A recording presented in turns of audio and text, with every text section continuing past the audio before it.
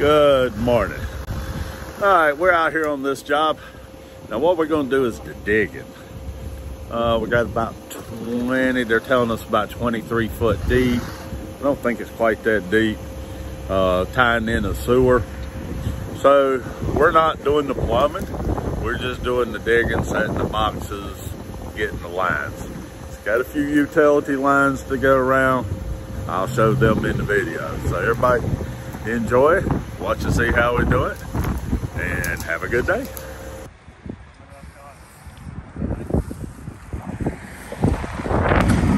As you can see, we got a few utilities. Our sewer, which I ain't worried about that one. It's this one right here, it's a communication line. We gotta watch.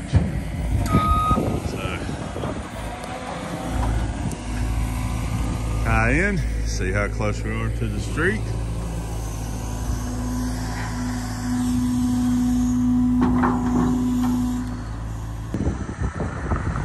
You got to be extremely careful. Here's the beginning of the job. And if you hit one of these lines, you know it's going to be a bad job. And it all happens in the beginning. So take your time. See Raphael there probing. Probe down. You know you got six inches, you're clear.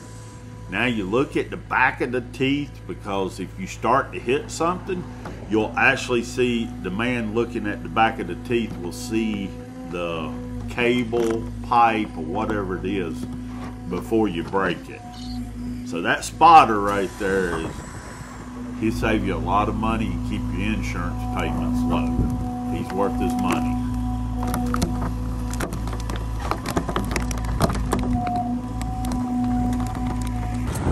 Know the cable's down there.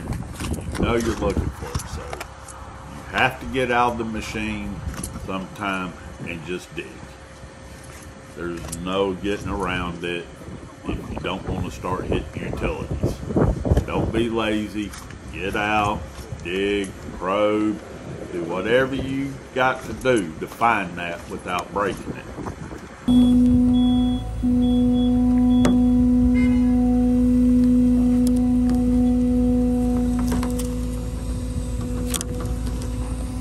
Okay, the deeper you get, the closer you get to the danger zone.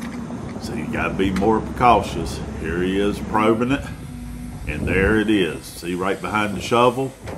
We sprayed it with orange. Now we know in front of it, there's not supposed to be any other utilities. So that don't mean just run wild, but you can kind of start moving. If there is, um, you're covered because you you had it located. Take advantage of that free location service. It'll save you a ton of money and time. Now that you found it, you've got to expose it because we've got to go down 18 foot deeper than it's located. So the guys get out, get the shovel, get the machine, dig a little bit with the machine, dig a little bit with the shovel. We know where it's at, we can see it. And here you go. You can see once it's cleared out, that's what we were hunting for. The trench is going on back. Ta-da, we don't hit water at this level. So I don't know where the water table is in your town, but at ours, we hit water over here about 12 foot. So at this point, we keep digging the trench. We got it shelved off, and boom, we've got more water coming in.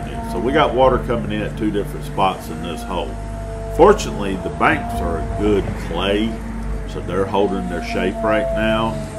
Um, you can handle the water. We do have pumps that we will be putting out and putting in. We're not able to shelve it on the left hand side. We have a tree there. See the roots? Uh, we're trying to save it. This is a lot of digging beside it, we don't know if it's going to live or not. We're not responsible for it if it don't.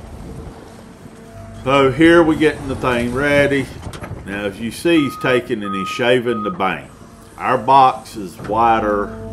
It's a 48 inch spreader bar plus four inches on each side. So you add another eight inches to it. So this is a 48 inch bucket. So you got to take it, scrape the sides down. It also helps keep stabilizing the banks. And that's very important uh, to keep a bank as stable as every little thing you can do helps.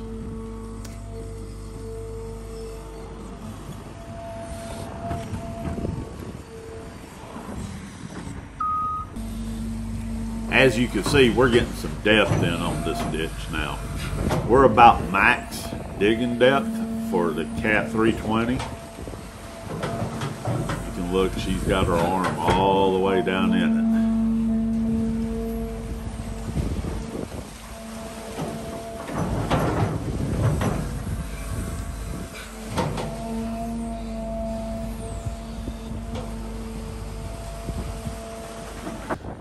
That is definitely max digging depth for the 320. We're a little over 20 foot deep getting in there. Next we got to set the trench boxes. You know, but as you can see, we're maxing out the depth of the digging. From here we'd shelf on down to get deeper.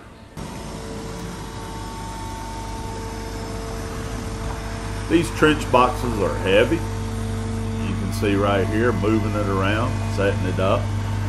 We're about the biggest size box that this machine can handle. Any more than this, you need to get on up to a 330, 336. But we got what we got. Um, here you got a good skilled operator working this box. So we'll put it in there. We got to move it around, get it to where it can go in. Just have to work with it. Get it lined up. Once you get it lined up, reset the cables, move her right on in.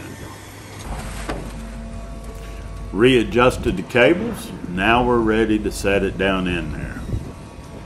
This is the point where you just got to be patient, take your time, look at it, work with it. Make sure everybody's safe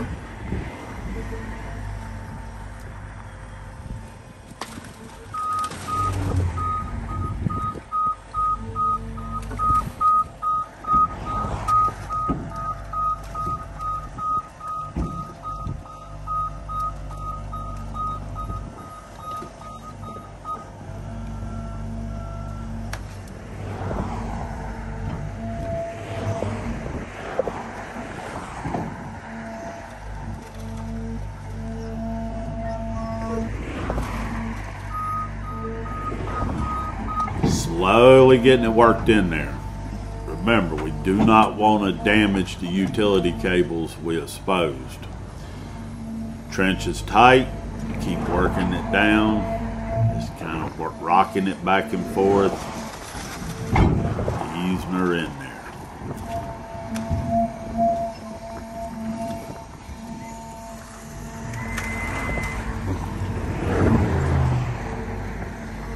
We're starting to get up to the critical point.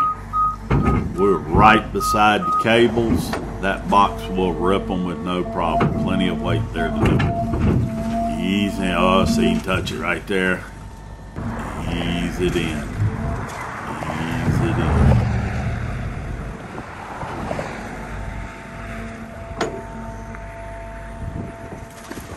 in. Yes.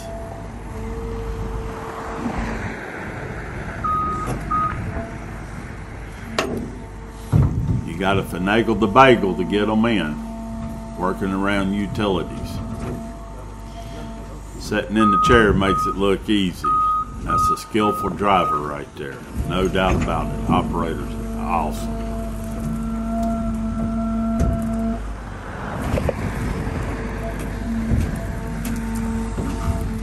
Now at this point, the front of the box is in there sitting on the bottom we have to slide it up under the utilities. So I go back oh. and start rocking it back and forth.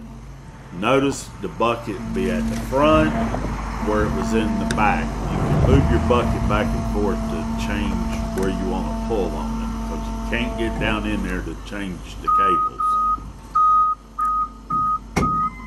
Here we are working it up under. See it sliding right up under. Drop. Fit in there like a glove. That's some good driving right there. That is some good driving. Get it in there and let's get it set. Let's see where we're at from there.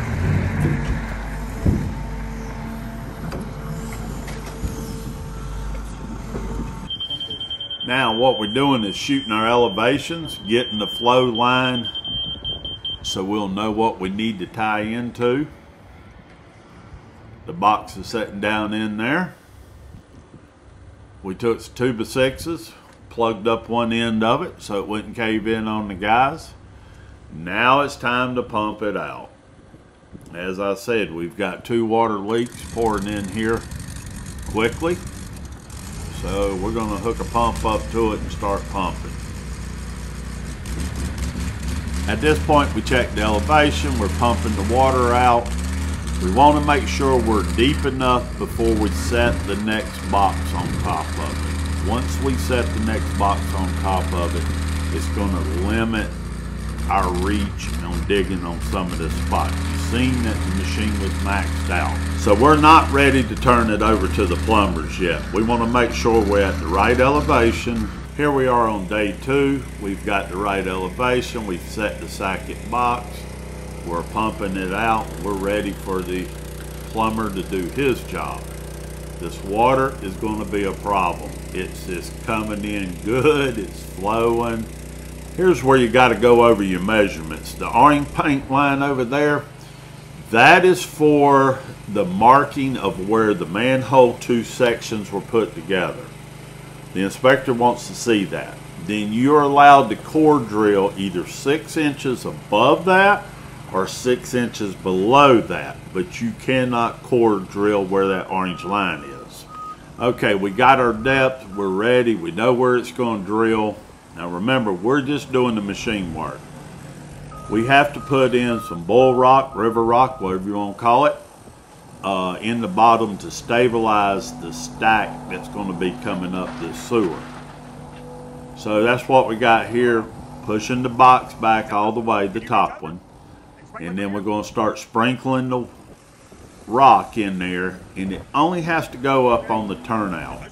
So in other words, this thing's got a turnout that comes out of the bottom of that, runs up from 18 foot deep to the, about the 8 foot deep.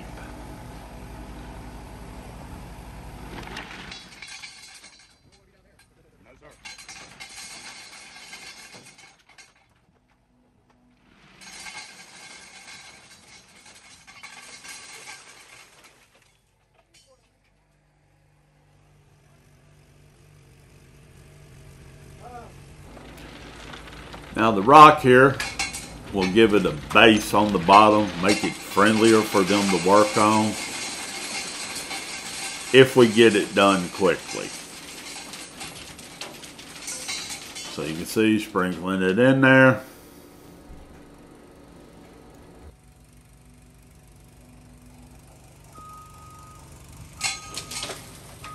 Now you can see the plumber got set up. He's drilled. He's got the mount for the core drill to work off of. But the water, look how much water is just coming in. That's a problem. That electric drill that would be hanging down in there. Here you can see the plumbers discussing what they're going to want to do next. And with that, we're going to end the video. I'd like to thank everybody. We will do a part two on this. Thank you.